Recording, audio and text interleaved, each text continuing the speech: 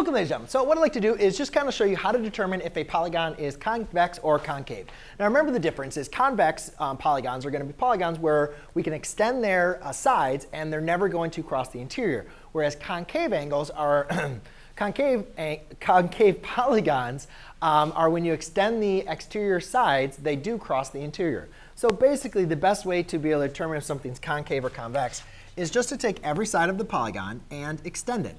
If any of the extensions of the sides enter inside the polygon, then what you'll have is enter inside of the polygon, then you'll have a um, concave polygon. But since you can see the exterior of all these sides do not enter inside the polygon, this is what we call convex. Okay?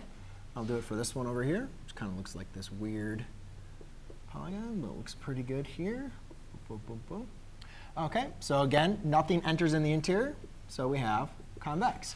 And again, it only needs to be one side. You don't need to have multiple, every side do it. It only needs to be one interior side. And you can see here, as I extend one of my side lengths of this polygon, it enters into the interior. See how these never enter the interior? So since this, this side, when I extend it, enters into the interior, this would be concave. And again, you know, this one, you can see here, those sides do not enter in the interior. But when I move to this one, you can see it does. So again, this is another example of concave. So there goes, ladies and gentlemen. That is how you determine if a polygon is convex or concave. And you have two examples of each. Thanks.